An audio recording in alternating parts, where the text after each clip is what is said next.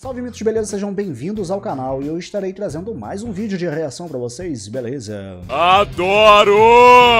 Eu amo jogos indie. Bom, de um canal que eu não conheço, isso daqui foi até me sugerido na live que eu faço na Twitch, o link tá aqui na descrição. O nome do canal é Rafin, é Rafainha Host, eu acho que é isso. E bom, ele estava falando dos estilos de jogos indies, então bora ver aqui naquele mesmo esquema de sempre pra vocês verem as minhas olhações e sobre qual jogo ele estará mostrando aqui. Beleza? Com certeza. Mas antes de deixar seu like, se inscreva no canal, ative o sininho se você for novo ou nova no canal. Sejam bem-vindos. Ai, que delícia!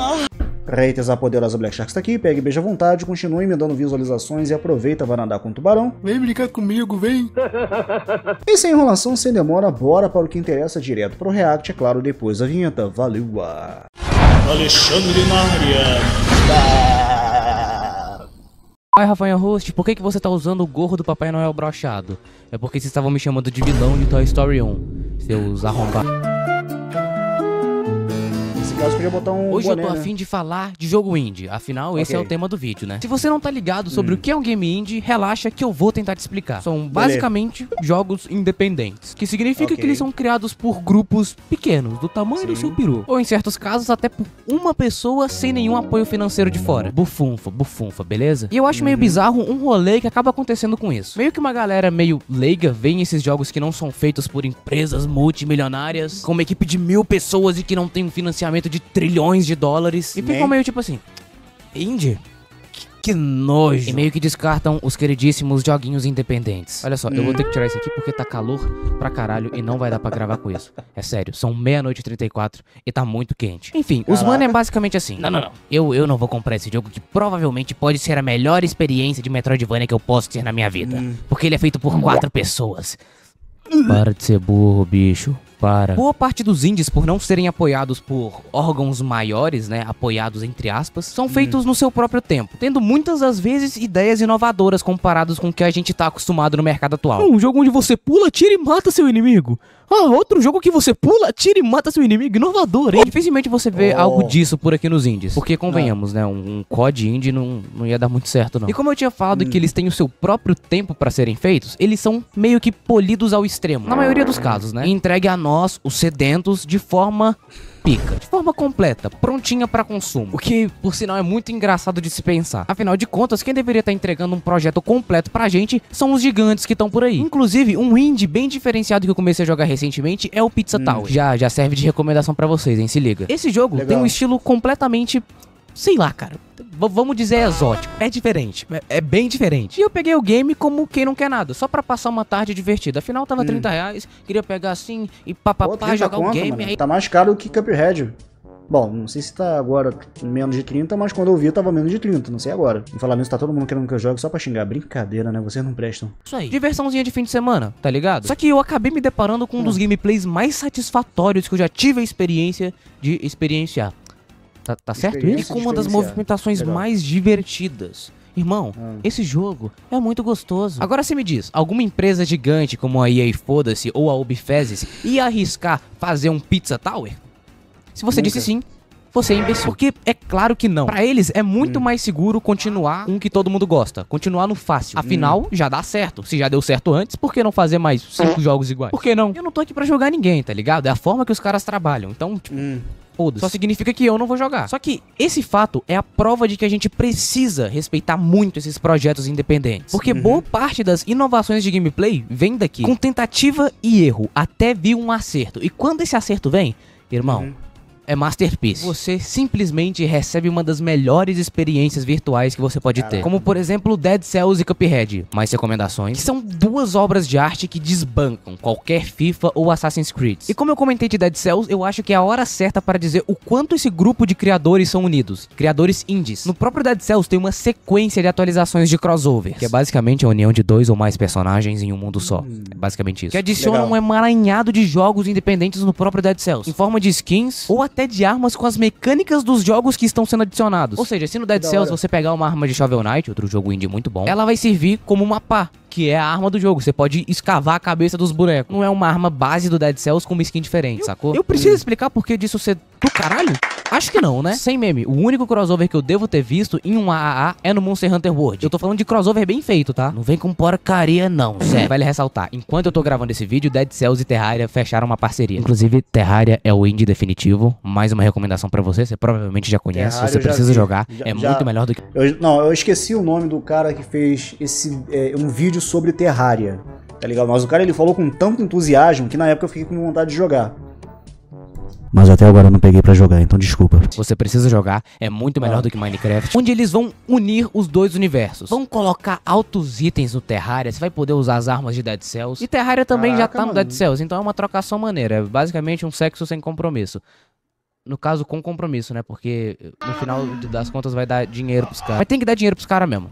Porque eles merecem. E puxa, rapaz, eu quase me esqueci. Ano passado, o Terraria fechou uma parceria com o Don't Starve que é outro indie muito pica de sobrevivência. E não colocaram somente itens. Colocaram um fodendo chefe de Don't Starve no Terraria. Muito foda Caramba. mesmo, cara, meu Deus. Nesse mercado aqui você não vê esse bagulho de concorrência, porque esses mano estão aqui por si mesmos. Os devs Tudo de junto, Undertale tudo não junto. precisam ver os devs de Hades como inimigo, tá ligado? Muito pelo Hum. contrário. Eles são aliados pra cacete, mano. Que é, tá ligado? É eu e tu, você e eu. Os gamezinhos independentes vivem se ajudando. Com mensagens subliminares, easter eggs. E com tudo isso, eles acabam criando uma comunidade sinistra. Um grupo de pessoas que amam esses jogos e estão junto com eles, mano. E que, inclusive, por gostarem do jogo, vão fazer modificações e os devs indies apoiam, porque aumenta a vida útil do jogo deles. E como eu já disse aqui, vida útil é uma coisa muito importante pra qualquer jogo. Agora vai lá tentar modificar o Zeldinha, mano. Vai lá pra tu ver o que acontece. Pra Vai. ver se não chega um processão na sua casa. Vou te contar como é que vai ser a história. Vai ser basicamente isso aqui. Esse aqui é Manuel. Um garoto feliz e que trabalha com um projeto secundário, onde seu único objetivo é transformar o Link no Sheldon de The Big Bang Theory. E graças a isso, ele conseguiu sozinho chamar a atenção da Nintendo, que se animou e resolveu ir até o Ceará na casa dele. Com uma equipe de advogados para processá-lo em 500 mil reais. Mano, Ah, agora Emanuel vai dever pra sempre a Nintendo. E meio que vai morrer miserável, porque é impossível esse filho da puta cearense pagar essa dívida, porque é muito dinheiro. E eu não roubei Pois essa é. piada de algum lugar da internet, tá? Não, não roubei. Olha só, continua de olho, tá? Porque eu vou te recomendar altos indies pica. Vou jogar tudo na tua cara, assim, ó. Tipo, tipo, Só indie, só indie bom. Já vamos começar com peixe grande, tá? O Ok. que você precisa jogar. Tu é obrigado a jogar esses jogos que eu vou citar. Terraria. Hollow Knight, Dead Cells e Enter the Gungeon. Citaria mais se eu pudesse, mas não, não quero. Tu é obrigado a jogar se tu viu esse vídeo, entendeu? Agora se liga nesses outros aqui que também são muito picas. Undertale, The Last Fate, joguei, Blasphemous não 2. joguei. Eu tô citando só o Não 2 joguei. porque um é meio... É meio merda, tá ligado? Project Zomboid, Celeste, Não, Don't joguei, Starve. e meu Deus, se eu continuar listando todos os indies que você precisa jogar, esse vídeo pode bater 40 minutos fácil, fácil. Então vamos parar por aqui. Se você quiser mais recomendação de indie, quem sabe eu posso fazer uma parte 2 desse vídeo só recomendando jogo bom. Porque eu Show. já joguei muito jogo indie na minha vida. Desde os bons até os podres. Porque sim, também existe jogo indie podre. E olha só, com esse vídeo eu não quero destruir nenhuma sede dos AAA com bombas de nitrogênio líquido. Nada disso, tá? Nem muito menos levar eles à falência com um, um vídeo pro YouTube. Não, tô, não quero, não quero. Não quero desbancar o cara falando pra vocês comprarem só indies. Não. Compre os seus AAA, mano. Ou seja, é o que você quiser. Eu também jogo muito AAA. Meu jogo favorito é Dark Souls 3 que é um AAA. Tem que colocar um contador de AAA nesse vídeo, já falei muitas vezes essa palavra. Mas com essa falação, eu queria fazer com que vocês aumentassem o seu olhômetro, tá ligado? O seu olhômetro de qualidade. Porque eu, infelizmente, vejo muita gente aceitando a mediocridade de vários jogos gigantes, como se fosse algo normal. E tudo isso só porque, assim, em um ponto onde o básico, como um bom level design ou um gameplay interessante, se tornou algo a ser aplaudível. Rapaziada, isso não é pra ser aplaudível, isso é o mínimo. Mas se tornou algo surpreendente por causa que as empresas não entregam mais o mínimo. E tudo isso quando se vende um projeto gigante, que é mais bizarro ainda. Enquanto no cenário indie é bem diferente. Sendo que o normal seria ser o contrário. É. Tudo bem. Afinal, as grandes empresas têm recursos, têm a grana, têm equipes gigantes. Também Pra caraca. tempo, mas não sei por que eles gostam de lançar os jogos inacabados. Deve ser algum fetiche esquisito. Se você é o cara que tem aquele preconceito por achar que os devs independentes não vão atingir a sua meta gamer, vai tomar no seu. Mentira, só tira Boa. isso da sua cabeça, tá? Papo reto, mano. Papo reto, papo, papo de visão. Em cima de nós, só a roda da bike, Deus. Hollow Knight me prendeu durante 130 horas dos meus 100%. Isso são Caraca. horas pra cacete, tá? São, são cinco dias. Cinco dias e meio. São muitos dias. Eu tenho mais de 500 uhum. horas em Terraria e tô correndo para criar meu próximo boneco logo mais. Mercado indie é mágico. Tem de tudo, principalmente inovação. O tanto de gênero e subgênero que sai daqui é brincadeira, tá? Só que é aquilo, né, hum. rapaziada? É, os meus vídeos são que nem sexo.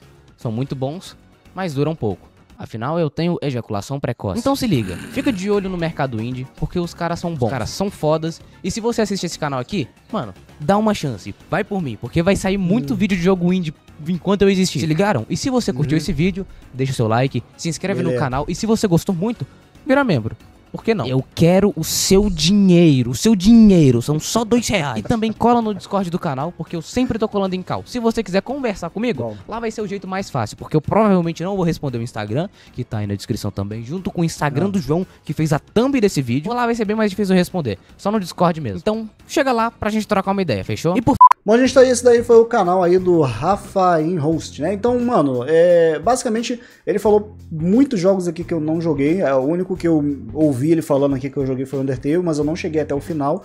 É um bom jogo, apesar de eu não curtir muito ficar vendo legenda pra caramba, e é uma coisa que muito tinha nesse jogo meio que mesclava você mexer no boneco, ação, com você ficar lendo para um caramba. Mas é um dos jogos que eu joguei, achei interessante, não cheguei até o final, como falei, mas achei legal. Entre outros jogos aí que eu acho muito da hora, cara. Então, sei lá, ele me deixou realmente com vontade de um novo de jogar todos esses que ele citou, mas quem sabe vai que e quando que vai acontecer, não saber. Mesmo assim, eu vou deixar aqui o meu like pro camarada e se inscrever no canal dele. Espero que ele tenha sucesso e tamo junto aí, cara. Até é bom, até é o brabo, hein? Bom, gente, é isso. Eu vou ficando por aqui. Espero que vocês tenham curtido meu react. Eu vou deixar o link desse vídeo dele na descrição do vídeo. Se tiver mais algum que vocês curtam e queiram que eu assista, deixe nos comentários pra vermos juntos. É isso, eu vou ficando por aqui. Só aguardem mais vídeos. Até a próxima.